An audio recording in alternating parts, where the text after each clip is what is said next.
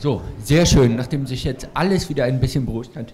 Ähm, äh, Cordula Kropp. Nee, Cordula. Guten Morgen. Also ich habe in meiner Kindheit Mickey Mouse gelesen und daher Gundula ist ja die Ente. Ne? Sehr schön. Okay, okay, dann übergebe ich wieder gleich. ähm, herzlich willkommen. Ja, von der Hochschule München. Nein. Auch nicht mehr. Von der Universität Stuttgart. Ah, okay. Mhm. Ich bin seit drei Jahren an der Universität Stuttgart. Mhm. Das ist aber ein, Doesn't matter. Ähm, vielen herzlichen Dank. Ich freue mich sehr, dass ich äh, hier bin und ich habe hier auch schon unglaublich Interessantes gehört und würde mit allen gerne noch viel mehr diskutieren. Schade, dass wir so viel frontal haben. Ein nächstes Mal. Ähm, tatsächlich interessiere ich mich auch für algorithmische Sozialität. Ganz am Schluss, bevor Robert Seifert, äh, Seifert äh, weggegangen ist, hat er noch gesagt, die Verhältnisse seien ja aber asymmetrisch. Man könnte sogar sozusagen sagen, ich interessiere mich besonders für asymmetrische algorithmische Sozialität. Äh, und zwar vor dem Hintergrund, wir haben gerade einen Vortrag gehört, würde ich sagen, über das Anthropomorphisierungsparadox. Es gibt viele solcher Paradoxen ähm, oder Paradoxe. Paradoxal genau genommen, wenn wir aus dem Griechischen denken, ja.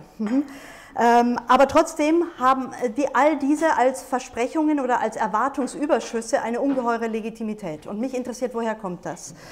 Also mich, äh, ich bin sozusagen an der Rolle und Bedeutung einer vor allem automatisierten Steuerung in der reflexiven Moderne interessiert. Und was heißt reflexive Moderne? Wenn ich das jetzt ganz kurz mache nach äh, Ulrich Beck, heißt das, eine Moderne, die sich selbst immer stärker zum Thema und zum Problem wird und dadurch teils reflektiert, teils reflekt, äh, reflexiv darauf reagiert, also reflexartig, indem sie versucht, irgendwie die nicht intendierten Neben- und Folgewirkungen eigentlich ihrer Errungenschaften doch noch äh, in den Griff zu bekommen, also eine legitime Geltung aufrechtzuerhalten. Schauen wir uns mal das an, das ist vielleicht ganz interessant, das ist äh, die Heatmap.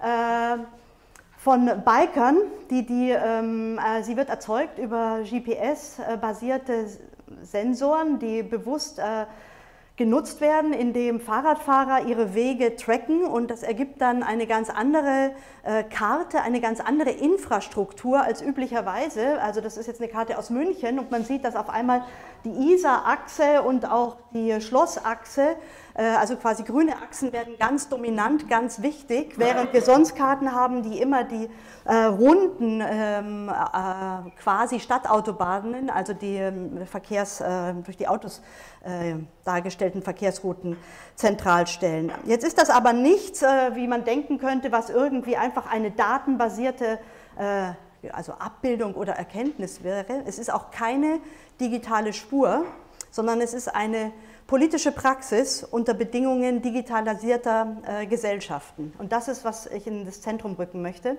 Denn die Fahrradfahrer, die diese Spuren produzieren, müssen dafür vorher ihre Handys aufladen. Sie müssen ganz bewusst ihre Wege tracken. Und aus Interviews äh, wissen wir auch, dass sie Umwege fahren, dass sie andere Wege fahren, als sie normalerweise fahren würden, um eine gewisse Sichtbarkeit zu erlangen. Und sie tun das nicht von ungefähr, sondern sie tun das, weil sie wissen, dass immer stärker äh, sogenannte Nutzerströme äh, herangezogen werden, um bestimmte Infrastrukturentwicklungen äh, zu legitimieren und auch zu privilegieren.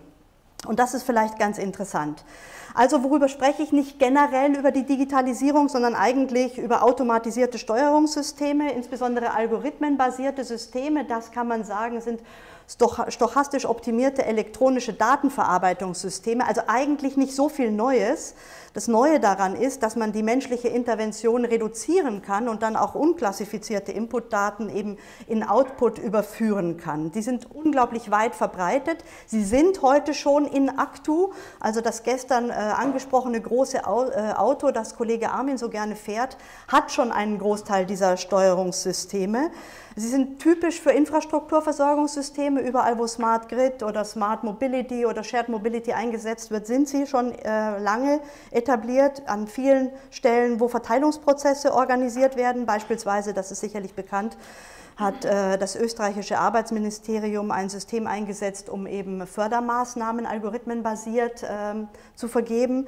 Und sie werden auch als Automated Decision Making Systems immer stärker in äh, verschiedenen Governance-Konstellationen äh, eingesetzt. Für sie gilt, was Geoffrey Barker und Susan Lister schon vor vielen Jahren formuliert haben, Uh, good usable systems disappear almost by definition. The easier they are to use, the harder they are to see as well. Most of the time, the bigger they are, the harder they are to see. Also sie sind groß, unsichtbar, aber trotzdem mit einer eindeutigen Steuerungs- und Kontrollwirkung verknüpft.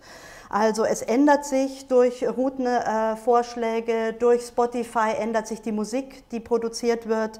Äh, es ändert sich die Idee von Rangzuweisung, von Kredibilität. Das ist auch ein ganz schönes äh, wichtiges Beispiel generell von, von ähm, Aufmerksamkeit, von Vorhersage. Tarleton Gillespie spricht deshalb von kalkulierter Öffentlichkeit. Also es ändert sich eigentlich der Gegenstand ähm, auch der Gesellschaftstheorie. Steffen Mau hat schon gefragt, wieso haben die Valorisationsagenten in diesen Repräsentationsregime so eine Benennungsmacht und Definitionshoheit? Woher kommt das? Und das ist, was ich ins Zentrum rücken möchte. Also was legitimiert diese Mechanismen, die mit einer ganz erheblichen Umkodierung dessen einhergehen, was zählt, in den verschiedensten Perspektiven? Ich würde gerne einen Schwerpunkt setzen auf Rechtfertigungsordnungen und eben auch auf Legitimität, aber man kann auch andere Dinge anschauen. Jetzt ist das eigentlich für die Techniksoziologie nichts Neues, sondern soziotechnische Konstellationen oder soziotechnisch grob produzierte Systeme untersuchen wir ja schon seit 30 Jahren mindestens. Und man sagt dann immer, aus welchen Komponenten bestehen die eigentlich? Also was wird da in eine Interrelation, in eine sich wechselseitig beeinflussende Beziehung gesetzt? Und seit langer, langer Zeit ist Madeleine Akrisch mit ihrem Skript immer eine Referenz, also dem liegt ein Modell zugrunde, Technisierung überführt Erwartungen in eben, macht sie stabil, äh, erhärtet sie, verdinglicht sie.